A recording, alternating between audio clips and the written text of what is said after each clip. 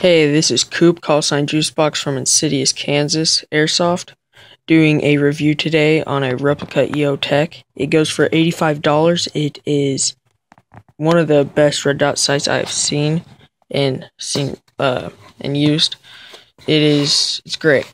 Anyways, here we go. It's a replica 552. But let's get to the packaging. It has this cool pattern. Design the box is nice. So you see, open it comes with styrofoam.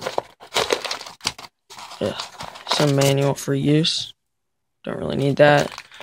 Um, yes, bag that it comes in, I took it out, so it's easier to do the review. Uh, slot cleaning rag for the lens. Tool, which is to adjust or to take off the metal cover on the side. You just unscrew all four Allen keys, two on each side. Let's get to this. Get that out of the way. Start on this side. Um, as you can see, replica. See these Allen keys, which I was talking about, just takes off the metal cover. That metal cover that covers the, I guess, the sight itself. Then you have this big screw, which is to, you unscrew it and put it on your uh, Picatinny rails or tack rails, whatever you call them, and tighten it back up. Anyways, the metal cover is the main metal piece on this, and that is pretty much just to protect the glass. Um, yeah. Um, move to the bottom. I guess the other metal piece, which is what you mount it on. This thing weighs about a pound. It's pretty hefty. It's nice though, but as you can see, this whole sheet it's like one big piece of metal, so it's it's nice. You just it's what you are mounts onto your rails. Then the back or front, I guess, because that's what faces people. You have this part. It's that texturized plastic that's like rubberized texture. It's really nice. It's grippy. It's I, I don't know if it's water repellent, but this lever. So I don't want to do it now with one hand, but you flip it up. It's a it's kind of tight, but that's a good thing. See that lever flips up. Also, when you flip it up, the cap might feel like it's gonna break when you push it off because the tube AA batteries go in there. But um, when you take it off, it feels like it'll break, like it's gonna just crack, but it won't. Trust me, I've done it a couple times. It won't crack. Just read the manual and then take it off. and then it comes with a sheet of well, built into it is a pretty thick piece of glass, face like facing this way on this side. Then on the other side, there's this piece of glass. So there's two pieces of glass, like a, the real one. Um, then on this side, there's more Allen keys, and yeah, this is just the cover, and then the plastic part, which the cover's on, also surrounds the glass. So it's that texturized stuff. So then there's that, and then the metal. Also, here is to adjust the reticle, which is shown like when you when that lights up. This one, the teardrop shape on the left, if you turn it right, it'll move it down, the reticle down. Turn it left, it goes up. And on the right one, if you turn it right, it'll move right. The reticle will go right, and then left is left. Let's get to the front. Yeah, back, whatever. Um, here we have the more texturized rubber, plastic, whatever plate with four screws to take off, and the electrical stuff is in there. Um, here, let's start off here. On, off.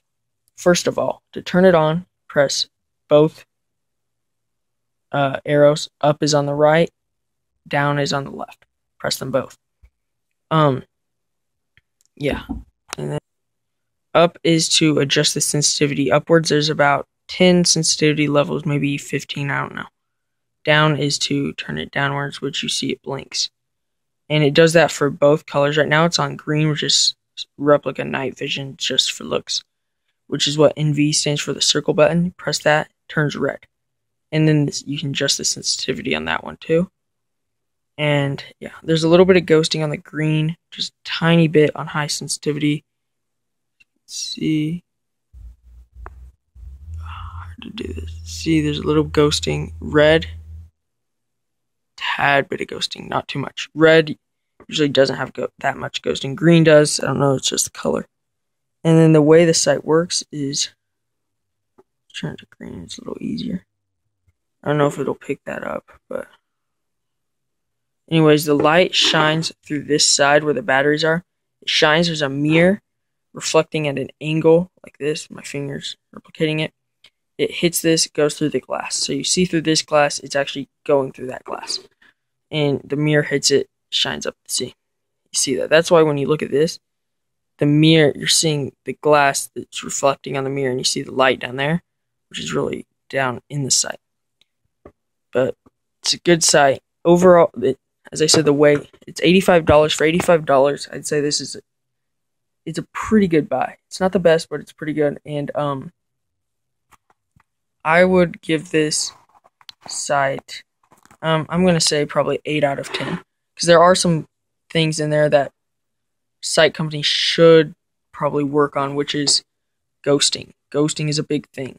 Another thing is, I guess, electrical systems. Make sure the sys- they should kind of upgrade the systems for, I mean, I guess higher technology, better um, things inside so they won't break.